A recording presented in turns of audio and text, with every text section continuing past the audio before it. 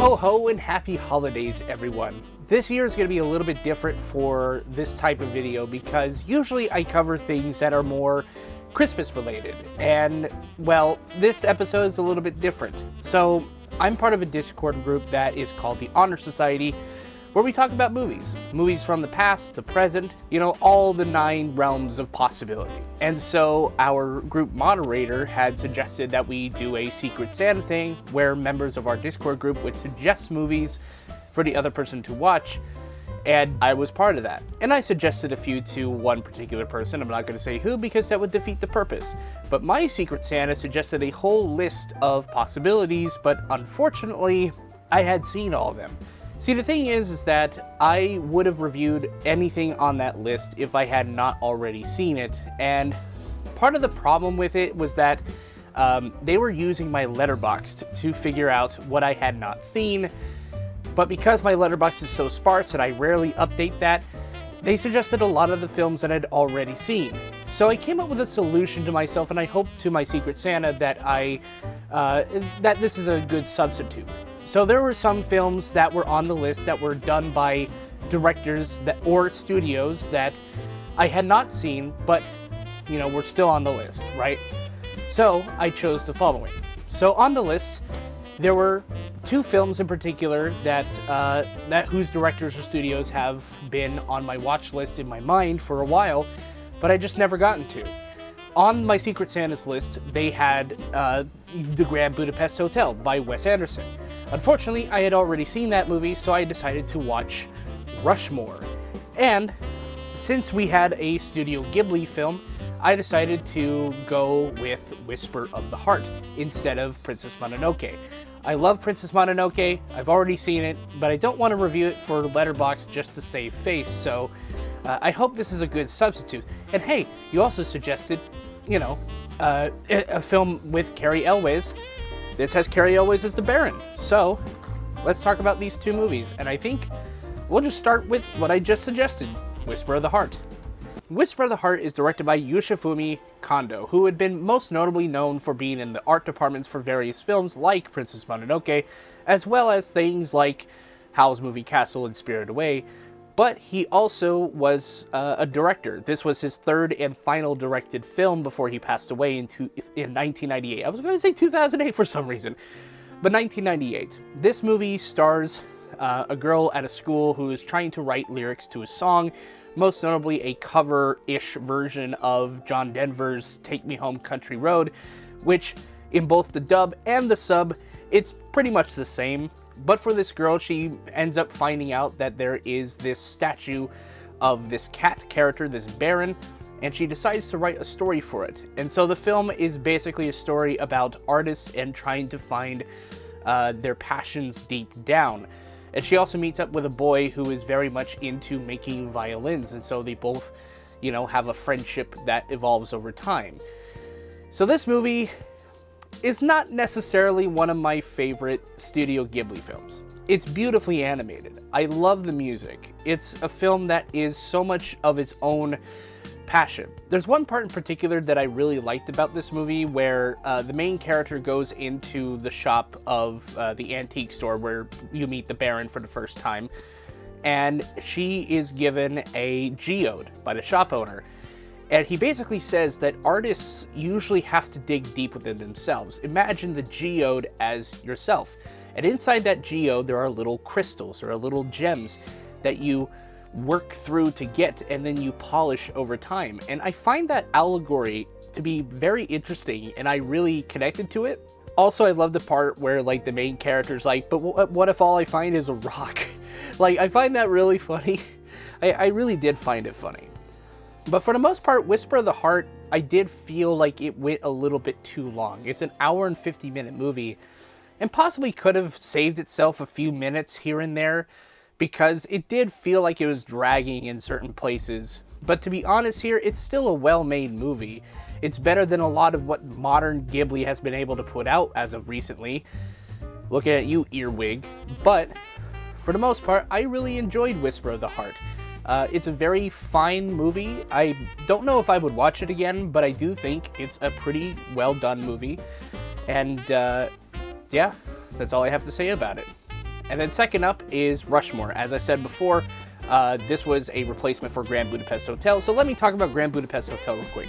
Grand Budapest Hotel is one of Wes Anderson's best movies. It's much later in his career than what Rushmore was. Rushmore was Wes Anderson's second feature film following Bottle Rocket, but The Grand Budapest Hotel was a movie that pretty, pretty much encapsulates a lot of the tropes that we see a lot in Wes Anderson movies.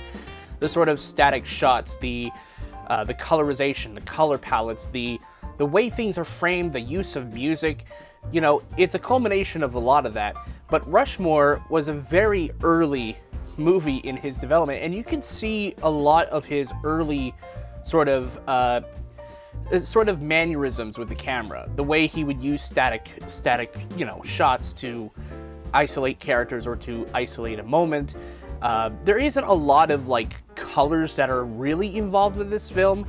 It basically follows a pretty decently standard three act structure where the first act is in September, second act is in October, and the third act is in November slash December. It's not quite clear how all that really pans out. So the movie follows Max Fisher, played by Jason Schwartzman, who is a 15 year old student at Rushmore, a private academy for rich people, and he becomes infatuated with a teacher who routinely doesn't like his advances. It's a movie that is kind of kind of creepy in that respect, but it's once he finds out that his former teacher friend, uh, played by Bill Murray, starts to go out on dates with said former teacher, uh, said teacher that Max Fisher wants to hang out with, he starts to have some sort of like a Dennis the Menace sort of rivalry with Bill Murray's character. And to, for the most part, I don't think Rushmore is that great of a movie. It's still good, don't get me wrong. A lot of the early stuff that would basically define Wes Anderson as a creator is there, but it's also very rough in certain areas. There are certain edits that kind of feel like a little bit amateurish, kind of feels a bit stilted, and it doesn't necessarily flow very well in terms of some parts, right? It's not necessarily terrible, it's just something from the early career that he would eventually kind of, you know, fix, fix later, right? For the most part, I do enjoy the performances here by Bill Murray and Matt and Jason Schwartzman and all the other cast members. They do a really good job.